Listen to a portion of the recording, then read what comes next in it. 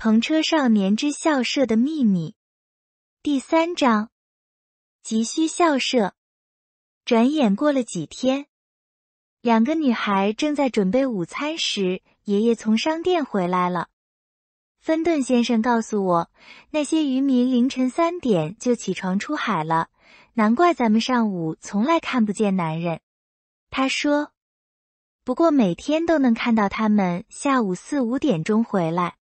亨利说道：“那些渔船一艘接着一艘的开进来，好威风呢。”班尼说：“我要去海边看船，我才不在乎有没有人跟我讲话呢。不过得早点去，免得错过了什么。”于是，尽管离三点钟还早，四个孩子就已经向海滩进发了。维利还带了水彩、画笔和画纸。几艘早归的渔船上。渔民正在往箱子里装鱼，一些鱼平摊在网里，等着晒干；另外一些用冰块包裹起来，运到北港去。码头附近海鸥群集，叫声震天。它们一边飞，一边争抢着剩鱼。鱼腥味好难闻啊！班尼说：“主要是因为鱼太多了，整个镇子都是这个味儿。”亨利说。可能只有晒鱼的时候才这么难闻吧。正在这时，那对红头发的姐弟从家里慢慢走了出来，他们的家就在商店隔壁。两个孩子刚好从奥登家的孩子身边走过。“嘿，你们好啊！”杰西打了个招呼。“你好。”女孩说着，脚步并没停，反而走得更快了些。“哎。”没人想跟咱们做朋友，杰西难过的说道。也许麦克说对了，班尼说，要是周围的人都不友好，的确挺无聊的。班尼，不要这么轻易就放弃呀，亨利说道。别人能交到朋友，你也一定可以的。维利看了一会儿渔船后，便爬到了礁石上，以便更好的观察整个海港。其余几个孩子则留在下面的沙滩上。哦，天啊！维利冲下面叫道：“礁石上有好多小坑，里面积满了海水呢。我要用海水来调色。”说完，他拿起画笔，在其中一个小坑里蘸了蘸。维利刚刚勾勒了几笔蓝色的大海和黄色的沙滩，便听到身后有动静，似乎是有人爬了上来。可是他明明清楚的看到家人都站在下面，那么爬上来的究竟是谁呢？维利扭头看去，原来来者竟然是那个红头发的女孩。要是你不介意的话，我可以看你画画吗？女孩问道。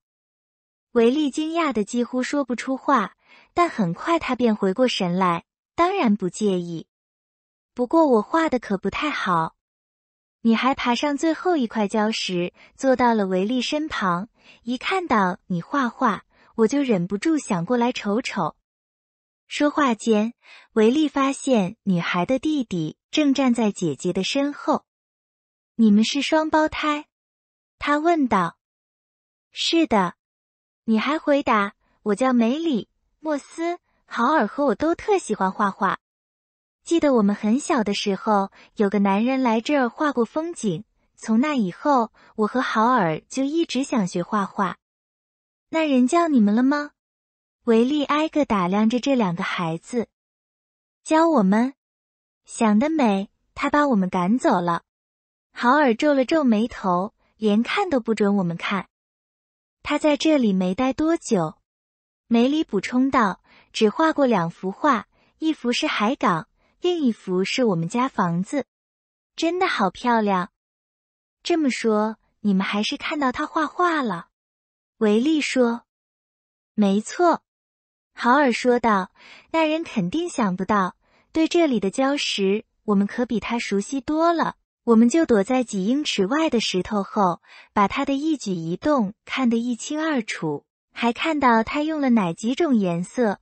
他用的颜料是油彩。”过了这么久，你们还记得？维利诧异道：“当然记得。”梅里说：“他把蓝色和绿色混在一起，好看极了，和海水的颜色一样。最后还掺进了紫色，看到没？石头下面的海水就是紫色的。”其实，维利缓缓说道：“你们很有艺术家的眼光。你们用过油彩吗？”“没有。”豪尔答道：“我倒是试着画过几张画，不过用的都是旧蜡笔。要是有油彩就好了。”奥登家的其余孩子听到动静，全都爬上礁石，坐了下来。“你们会在这儿多待一阵子吗？”梅里问道。“我想会的。”杰西说着，微微一笑。“我们很喜欢这里。”我想，男孩欲言又止。好像不知道该怎么说。你想什么？班尼问道。两个孩子尴尬的笑了笑。女孩回答：“我想我们是被吓到了。”天啊！班尼不可置信的叫道：“被我们吓到？怎么会？”姐弟俩对视了一眼。梅里说道：“我们不该跟避暑的游客讲话的。”拜托，亨利说道。别管我们叫避暑的游客，我们只是来这儿参观，想看看伊丽莎白港是什么样子而已。我们之前从没来过渔村呢。我们一直想在这里交些朋友。班尼说：“可是太不容易了。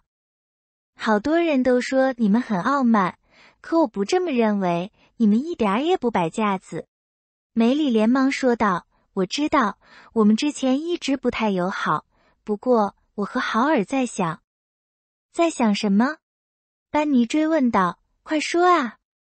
姐弟俩沉默了一会儿，半晌，梅里才回答：“是这样的，我们只有每年冬天才能去上学，老师们都不喜欢这儿，待不了多长时间。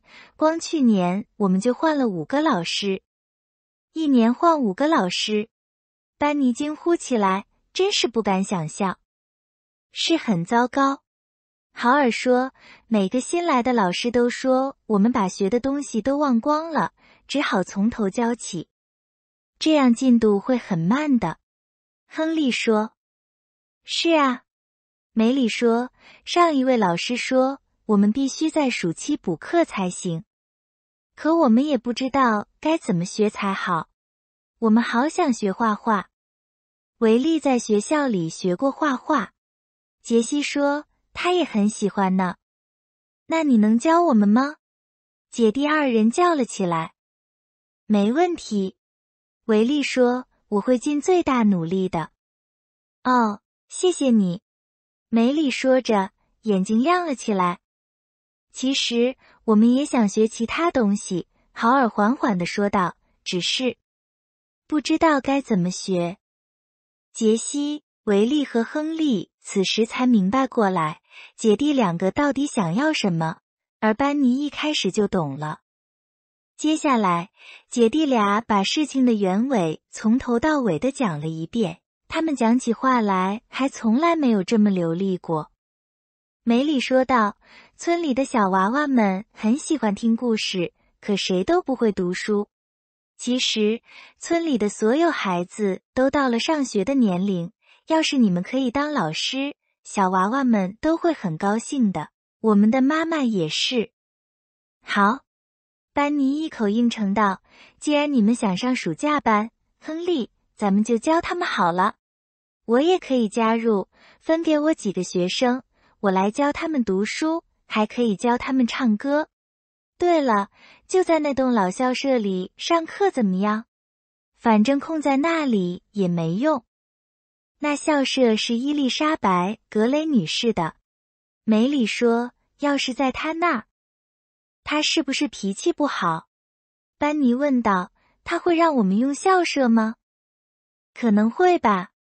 其实他也不见得是脾气差，你们可以去问问他。我们可不敢问。”梅里说：“要是能用校舍就太好了。”维利，今天就别画了，咱们这就去找他吧。亨利说着，开始顺着礁石往下爬。你们不怕吗？豪尔问道。怕什么？班尼说：“它又不会咬人，对吧？这倒是。豪尔轻声笑了笑。不过还是你们去吧，我们不去。亨利微微一笑，估计我们四个就够了。回头再告诉你他是怎么说的。